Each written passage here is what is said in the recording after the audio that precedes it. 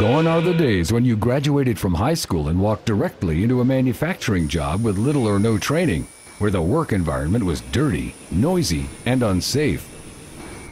Oh, how things have changed.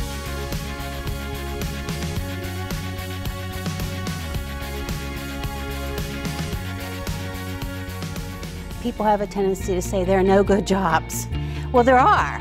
They just don't know where they're at. The biggest thing is really trying to keep our talent here, and in order to do that, they have to know where those opportunities are. Manufacturing is making a resurgence. I think uh, people are awakening to the new manufacturing, the skills that are required, the good jobs that are created. It seems the general average age is, is now into that lower to mid 50s. So in 10 years, I think there's going to be a shortage of, of people.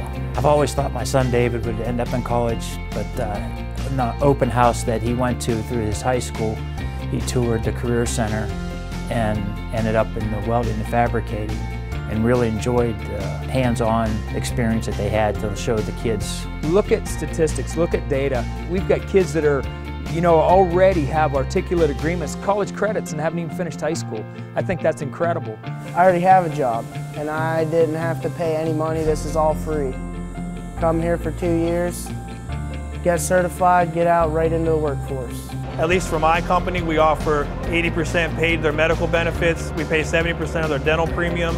We give them a 2.5% match on their 401k. I know a few employers in this area that have paid for some machinists to go get engineering degrees. So the employer actually paid for them to continue their education. Jobs in, in manufacturing run the whole gamut.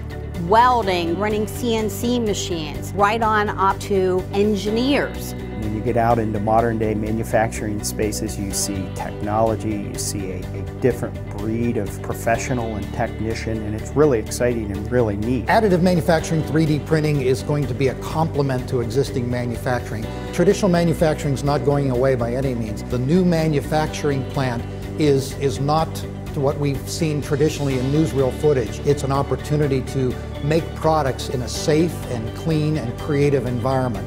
You know, we play a vital role in influencing what they do, but I think we also have to gain that knowledge of what's inside of these walls. What do they do out here? And play a role in helping our kids make good decisions. And I think this is one of them good decisions. I see more self-pride as he was working.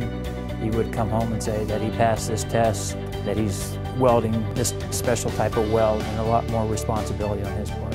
My mom gives me hugs and cries and tells me how proud she is of me every day. Work ethic, the attitude, and the willingness to learn is what every employer is looking for. It's up to the individual. The sky's the limit. Check out the resources that are available online at industryneedsyou.com and get the complete story. Then talk with your son or daughter about a career in the manufacturing industry.